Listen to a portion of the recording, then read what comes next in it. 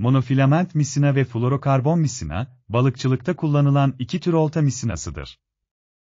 Monofilament misina, tek bir polimer lifinden oluşur. Fluorokarbon misina ise, çok sayıda fluor atomu içeren bir polimerden oluşur. Bu iki misina arasında birçok fark vardır. Yoğunluk, monofilament misinanın yoğunluğu fluorokarbon misinadan daha azdır.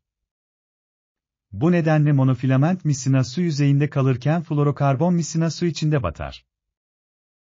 Bu da balıkçılık yapılacak ortama ve avlanacak balığa göre avantaj veya dezavantaj olabilir. Görünürlük, fluorokarbon misinanın görünürlüğü monofilament misinadan daha azdır. Bu nedenle fluorokarbon misina balığın gözünden neredeyse görünmezken monofilament misina daha kolay fark edilebilir. Bu da balıkçılık yapılacak ortama ve avlanacak balığa göre avantaj veya dezavantaj olabilir. Esneklik, monofilament misinanın esnekliği fluorokarbon misinadan daha fazladır. Bu nedenle monofilament misina daha fazla esnerken fluorokarbon misina daha serttir. Bu da balıkçılık yapılacak ortama ve avlanacak balığa göre avantaj veya dezavantaj olabilir. Dayanıklılık, fluorokarbon misinanın dayanıklılığı monofilament misinadan daha fazladır.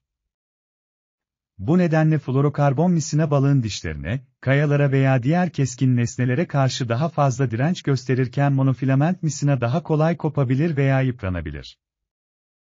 Bu da balıkçılık yapılacak ortama ve avlanacak balığa göre avantaj veya dezavantaj olabilir.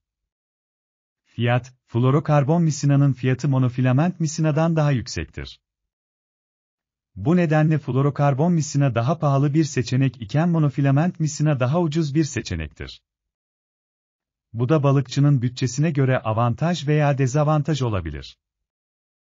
Özetle, monofilament misina ve fluorokarbon misina arasında birçok fark vardır. Balıkçılar bu iki misina arasında seçim yaparken yoğunluk, görünürlük, esneklik, dayanıklılık ve fiyat gibi faktörlere dikkat etmelidir.